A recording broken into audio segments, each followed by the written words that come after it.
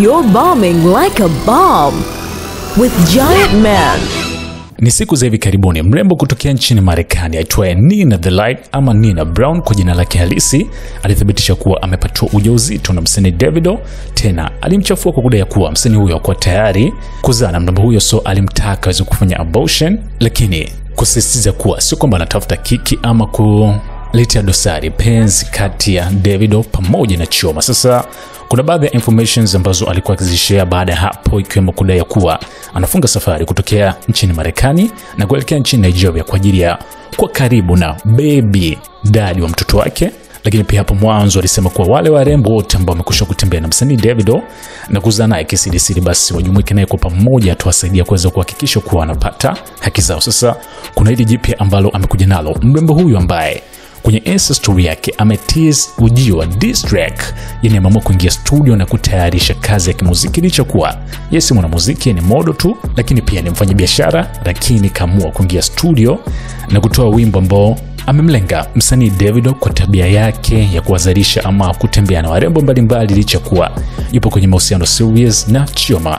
Wimbo huo Nina the Light ama Nina Brown ameupatia jina la womanizer, na womanizer ni tabia ya mwanaume kupenda kutembea na wanawake mbalimbali. So hii ndio title ya ngoma na ni diss track kwenda kwa msanii Davido. Nataka kusikia kikionjo na kisha ushushe komenti yako kwa maamuzi haya ya huyu mrembo kutokea nchini Marekani ambaye hivi karibuni aliviteka vyombo vya habari kiulimwengu kutokana na ukubwa msanii Davido kwa yale ambayo aliyasema na kutajwa kuwa ni mwanamke wa tano kupatiwa ujauzito na msanii Davido. Hapa ni SNS Manager.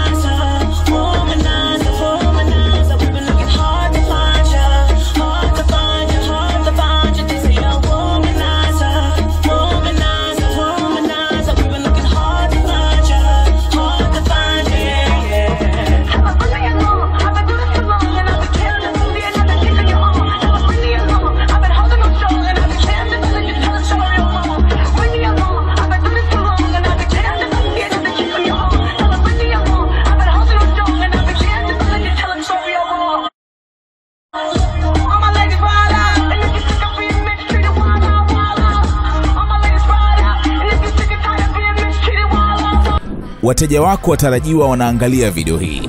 Kama biashara yako ingeonekana pamoja na unachokiangalia sasa, wengi wangegeuka kuwa wateja wako wapya. Tuandikie sasa info at snstz.com au whatsapp pekee 0659 250 389. Tuifikishe biashara yako kwa wana SNS.